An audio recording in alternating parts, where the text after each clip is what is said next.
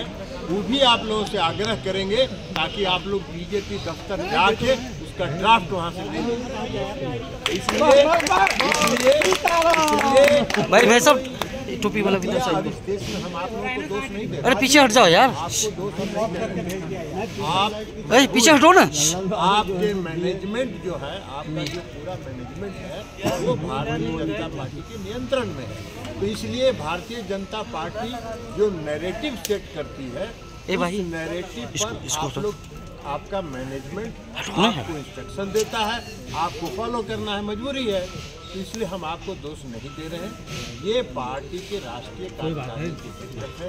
राष्ट्रीय पा- परिषद की बैठक है।